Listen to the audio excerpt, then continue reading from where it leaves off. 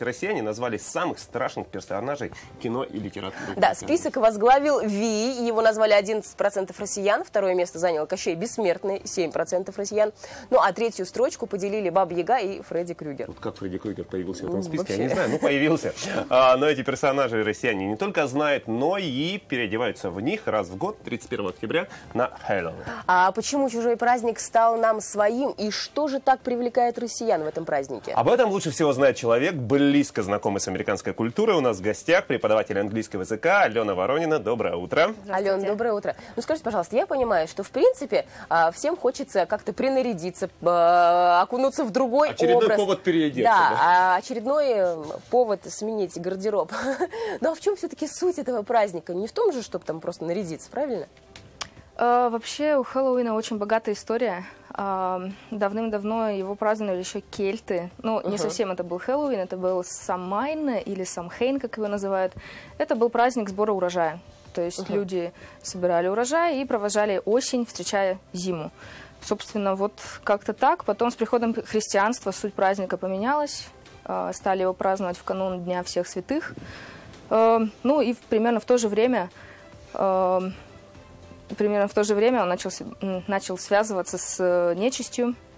И вот Ну, да, Ален, а вот скажите, знаете ли вы, вот как все-таки как носитель информации, да, вот, вот в чем вот та самая магия этого праздника? Почему вот его полюбили во всем мире? Почему в Россию накрыло? Даже в России, да, празднуют. И как бы такой, почему он стал всемирным? эм, я думаю, что, во-первых, глобализация, как ни крути, то есть э, праздник пришел из э, Северной Ирландии, Британии, Штаты и потом распространился по всему миру. Праздник очень яркий, нарядный.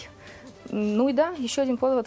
Ну, наряжаться можно во- да. все что угодно. Вот мы видим сейчас у нас на экране там и розовые балерины, и- нечисть, конечно же, присутствует. Алена, а вот скажите, пожалуйста, символом Хэллоуина является тыква. Почему тыква? Почему не кабачок, не перец, огурец, тыква?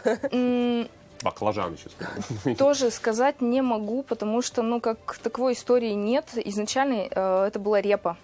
Изначально репа? Да. Все-таки наша русская да, репа? репа, редька, то есть использовалось все, но потом пришла тыква, потому что просто она дешевле. Всё. Тыква дешевле репы? Ну, в то, вре- в то время, то возможно, время. было Понятно. проще выращивать или что-нибудь такое. Ну, опять же, у них, наверное, тыква растет ну, больше. А, а вот скажите, ну, вот вы вырезывают на тыкве, Вы- вот да, да, да. да, какие еще вот прям традиции, вот, которые, ну, вписаны в канон Ну, понятно, что переодеться, там из тыквы вырезать вот это вот чучело. А, в прошлом очень популярно среди девушек было гадание, всякие разные гадания. Ну, это как у нас святки практически, да? Да, да. А, Сейчас э, скорее, ну, праздник для детей по большей части, по крайней мере, ну вот в Штатах это А вот это у них выходной день, нет? нет, нет, это не официальный праздник, но всеми любимый.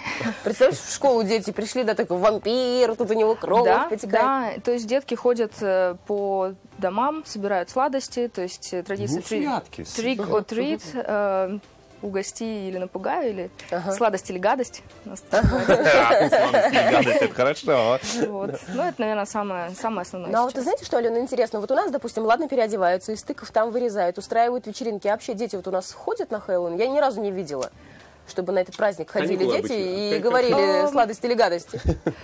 Ну, я... Нет, я не думаю, что здесь это прямо настолько популярен, но есть знакомые, кто отмечает, и как бы среди детей устраивают такую вот э, интересную вещь. Ну, Да. это можно победить просто. Вот, э, все говорят, осенняя хандра, осенняя хандра. Да-да-да. Да, заканчивается октябрь. праздник. И думаешь, как бы себя развеселить? А дай-ка нарисую что-нибудь на лице. Да, ну, а вот все-таки вот мы, Алена, начали говорить об альтернативе этому празднику, святки. Что еще может быть в России альтернатива? Масленица. Масленица, да, Масленица, кстати. опять же. Э, 7 июля, да, день Ивана Купала? Ночь, ночь творилы, так наверное, 7 июля, да. Не знаю, Степан, ты сейчас всех в Ближе, тупиковое ближе положение всего, я поставил. думаю, это все-таки святки и масленица по традициям, обычаям. То есть очень много похожего Да-да-да, как очень действительно гадания. похоже. Там, Ну что ж, друзья, э, вот так вот мы начали наш разговор о Хэллоуине. Сегодня у нас две позиции. Марина против этого праздника, ну как бы мы так на пальцах кинули. Она Да. против, я за. Каждый отставит свою точку зрения. И А у нас ждем. есть, кстати, день кикиморы, нет? Можно же или день лешего? Я не буду Мне кажется, шутить по тоже поводу Дня. Кикиморы. Ладно, спасибо Да. вам большое.